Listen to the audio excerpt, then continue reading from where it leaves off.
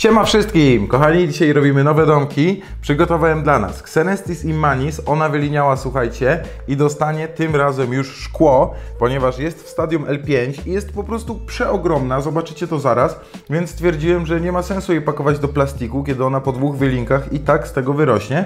W związku z tym ona dostanie szkiełko. Z racji, że jej obszar występowania to jest Panama, Kolumbia i Wenezuela, to ona lubi raczej bardziej wilgotno. Powiedzmy, można przyjąć te 80% wilgotności, ponieważ ona dziko sobie zamieszkuje e, tamte właśnie lasy deszczowe, więc zrobimy jej taki pojemnik, żeby mniej więcej on odzwierciedlał ten wilgotny biotop. Natomiast tutaj, moi drodzy, jest grupóweczka Neoholotele Incei Gold. One też żyją w Wenezueli i jeszcze na wyspie Trinidad i Tobago. Niestety na mojej mapie naściennej nie ma tej wyspy, musimy się obejść ze smakiem. Słuchajcie, one wolą tak naprawdę nie za sucho i nie za mokro, więc y, na pewno nie tak jak Xenestis, które lubi wilgotno, bardziej umiarkowane 60% wilgotności. Najważniejsze, żeby nie dopuścić do przelania i do przesuszenia tych ptaszników.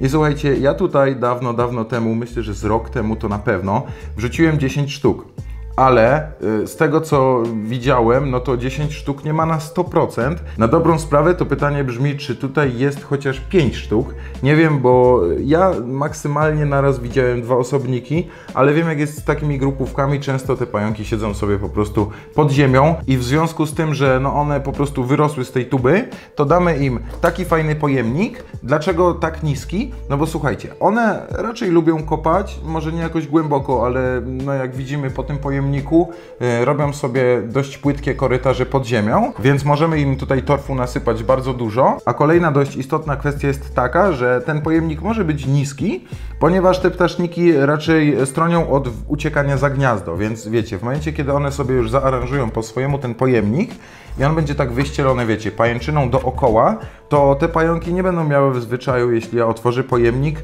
yy, zacząć biegać i wyskoczyć wręcz z tej pajęczyny, bo one bezpiecznie i komfortowo czują się w gnieździe na pajęczynie, więc wiem, że no nie będą, wiecie, wyskakiwały bezsensownie z pojemnika, stąd też właśnie może być niski pojemnik, a w związku z tym, że te ptaszniki nie lubią za mokro, to zrobimy im taki, można powiedzieć, półpustynny teren i użyjemy m.in. do tego mojego piasku z Wietnamu, który jest cholernie ciężki i strasznie dużo potu i krwi mnie kosztowało, żeby dotarł w to miejsce, gdzie właśnie jest. No, a jeszcze kochani, przedłużając tą nudną mowę wstępną, chcę Wam powiedzieć, że w zasadzie to niezła niespodzianka na nas czeka. W zasadzie to nawiązałem dość grubą współpracę z sklepem internetowym Reptility. Możecie sobie wejść i zobaczyć, co oni tam mają.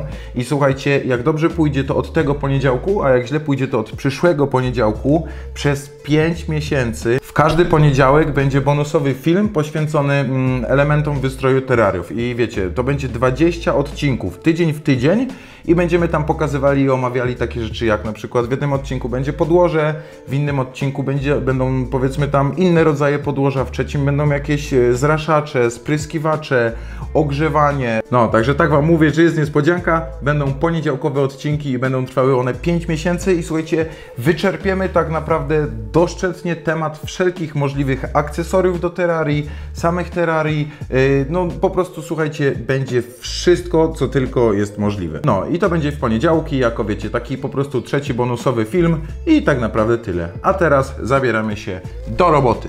Dobra, standardowo zaczynamy od podłoża. Słuchajcie, mam tutaj rozrobiony torf, tylko że ten torf już trochę czasu jest rozrobiony. Jak widzicie, on u góry e, jest już wyschnięty. W związku z tym tą górną warstwę dajmy dla naszych neocholotele, no bo skoro one bardziej lubią sucho, no to niech dostaną właśnie tą wyschniętą część torfu. Dobra, to jest. Natomiast tutaj, moi drodzy, z racji, że Xenestis woli wilgotno, to jeszcze dowalimy jej troszkę wermikulitu. Widzę, że to już resztka, to wsypmy wszystko i dopychamy torfem.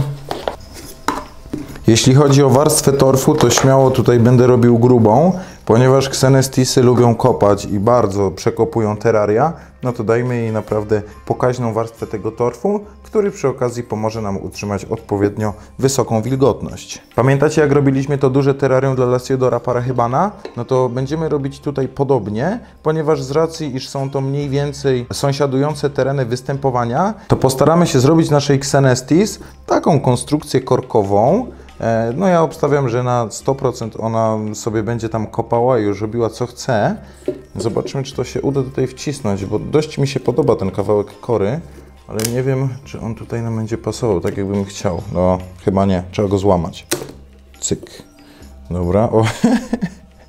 Ale się domek zrobił przez przypadek. Dobra, no to w takim razie muszę to wymyślić od nowa. O, patrzcie. To jest kawałek konstrukcji. Już wygląda nieźle.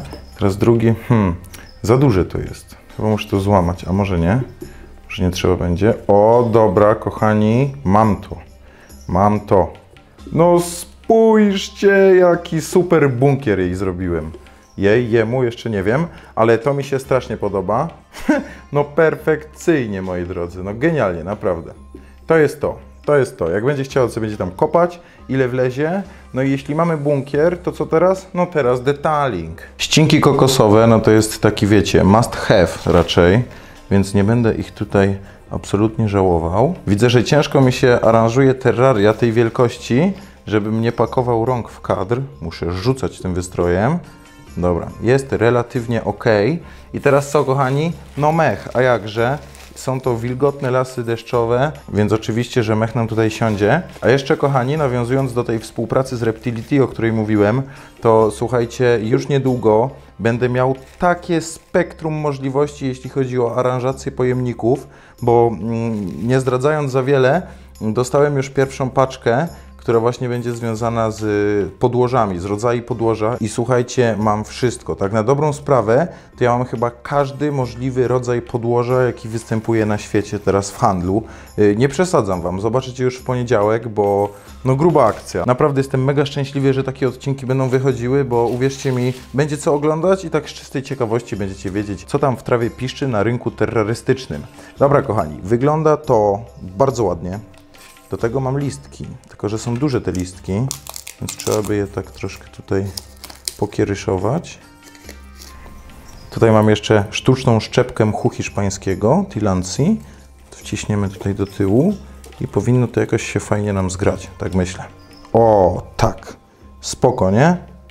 Naprawdę bardzo schludnie, bez przegięć. Podoba mi się to. W związku z tym przechodzimy do tego pojemnika. No i dobra, wsypmy trochę piachu, ale też wiecie, nie można z piaskiem przeginać, bo jak przegniemy z piaskiem w mieszance z torfem, to momentalnie będzie się nam e, wilgotność wytracała.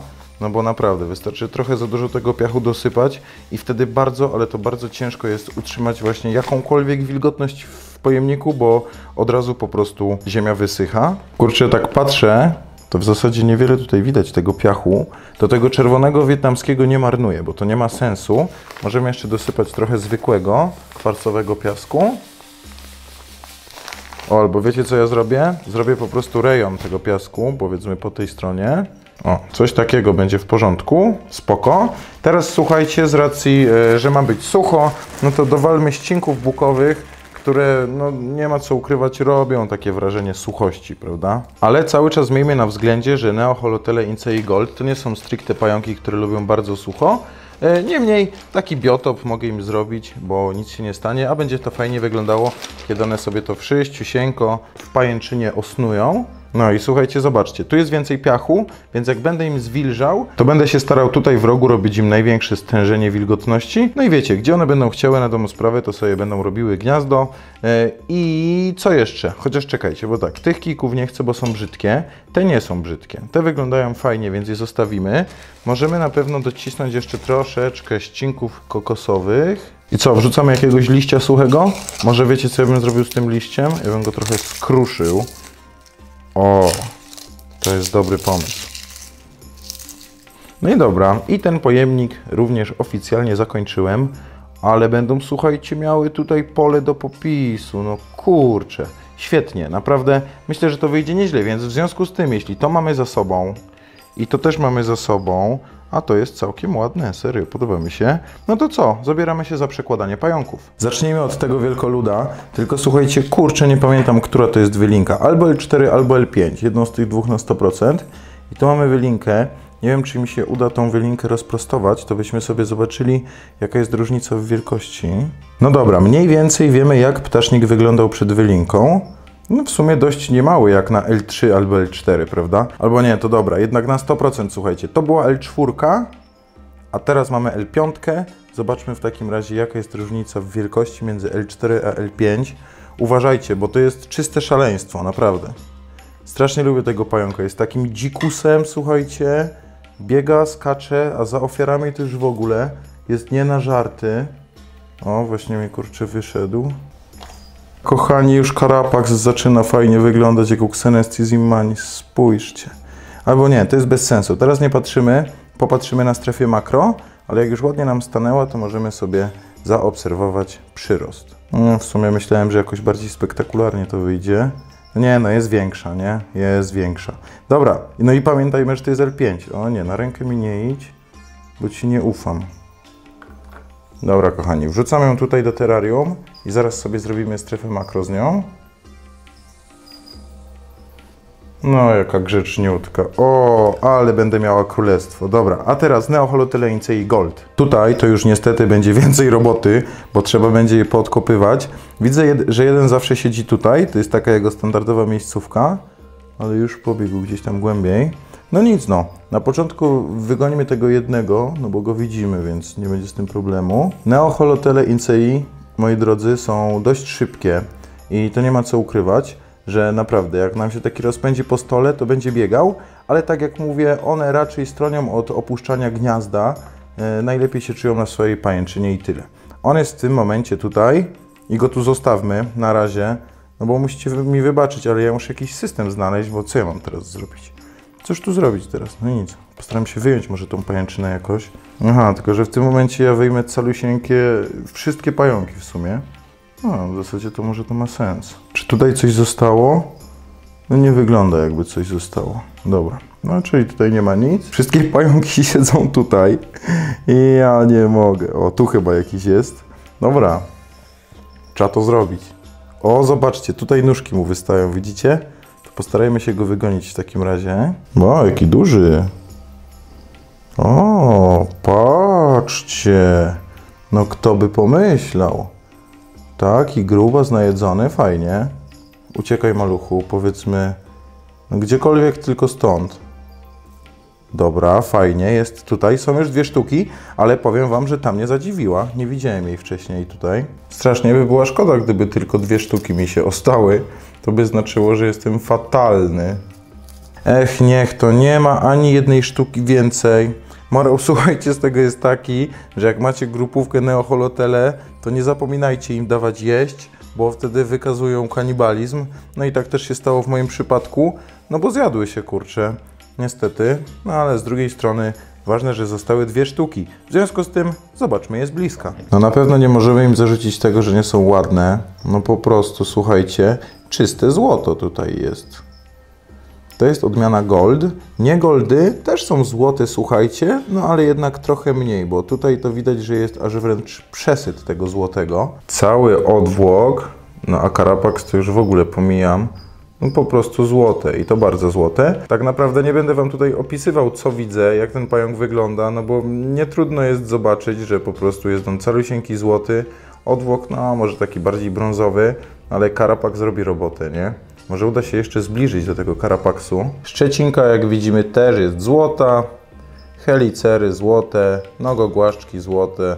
No wszystko jest po prostu złote. No i okej, okay, wiemy jak wygląda Neo Holocelein i Gold z bliska, więc zobaczmy jak wygląda Xenestis Immanis. Zwróćmy uwagę na jej karapax, to jest pierwsza wylinka, kiedy ewidentnie zaczyna coś się na nim dziać. Widzimy tutaj, można powiedzieć, zalążki gwiazdy na karapaksie i ona teraz z wylinki na wylinkę będzie coraz bardziej intensywna i będzie takiego koloru nie wiem jak to nazwać, taki fioletowo-czerwony, coś takiego. Włoski na odwłoku czerwone, a jakże? No cały pająk można powiedzieć taki szary. Tutaj trochę opalizuje na niebiesko, ale jest to spowodowane tym, że on po prostu niedawno liniał, więc jeszcze jego hityna tak do końca nie stwardniała.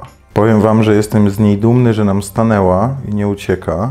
Dzięki temu możemy sobie ją troszkę popodziwiać. Słuchajcie, strasznie szybko rośnie ten pająk. Ja go mam, wiecie od kiedy? E, 3 miesiące i mi wyliniał 3 razy. No to wychodzi, że Xenestisy linieją niemalże co miesiąc, jak są młode i to naprawdę robi wrażenie, bo wiecie, przyrosty są gigantyczne po tych wylinkach. To nie tak, że mamy sobie tam ptasznika, on linieje co miesiąc, co jest w sumie spoko, ale przyrosty są niewielkie. Tutaj z każdą wylinką ona po prostu mi ewidentnie udowadnia, że już niedługo będzie ogromnym potworem. Myślę, że przy następnej wylince już będziemy sprawdzać jej płeć, chociaż znając moje szczęście do e, gatunków dużych ptaszników, to będzie samiec. No ale nic to, trzeba będzie z tym żyć nawet jeśli. Cała szczecinka na karapaksie jest widoczna i te cudowne, małe, świecące oczka. Dobra, kochani, tak naprawdę to zrobiliśmy na dzisiaj to, co trzeba było zrobić, więc powoli, powoli będziemy kończyć. Można jeszcze ewentualnie zobaczyć jej odwłok tutaj. Uuu, ale głębia ostrości. Zobaczcie, te włosy nad włoko wyglądają jak na jakimś kaktusie. Ale ma śmieszne, długie i rzadkie włoski. Jeszcze w ramach informacyjnych chcę Wam dodać, że ten pająk nadaje się jak najbardziej dla początkujących, ponieważ jego siła jadu jest dość niska, e, więc nawet jeśli on miałby być agresywny w przyszłości, no to nie zrobi krzywdy człowiekowi. Więc jeśli ktoś by takiego chciał, to jak najbardziej jako pierwszego można sobie go kupić, bo e, są to dość ciekawe pająki, wiecie, naprawdę bardzo, ale to bardzo żywo reagują na ofiary. Po prostu wiecie, ona wylatuje z tej nory i atakuje tyle świerszczy, ile jej się da, więc to naprawdę jest e, po prostu ciekawy ptasznik do obserwacji. Nawet jeśli tej pajęczyny dużo nie plecie, no to mimo wszystko, wiecie, zawsze jakiś tam dywan, dywanik pajęczyny zrobi, tak jak moja Lasiodora parachebana, którą zobaczycie w serii Co słychać u, więc te, to nie tak, że pajęczyny nie ma w ogóle, no a tak jak mówię, zachowaniem, słuchajcie, ona nadrabia wszystko, naprawdę. Te wielkie ptaszniki z Ameryki Środkowej i Południowej są bardzo spoko, naprawdę. Więc polecam, a jeśli chodzi o Neochloteleince i Gold, to generalnie sprawa wygląda tak, że są szybkie i tak naprawdę tylko tyle, więc też jad mają słaby, jeśli ktoś by chciał takiego Neochloteleince i jako pierwszego, to też jak najbardziej można sobie go sprawić. No i tyle moi drodzy. Jeśli film Wam się podobał, koniecznie łapka w górę. Warto również sprawdzić wszystkie linki pod filmem, mamy tam m.in. mojego Patronite'a, gdzie można zostać moim patronem i również jakieś benefity z tego czerpać, ale to zapraszam do linku poniżej. Tymczasem ja się z Wami żegnam. Trzymajcie się i widzimy się już w środę, bądź jak dobrze pójdzie, już w poniedziałek. Hej!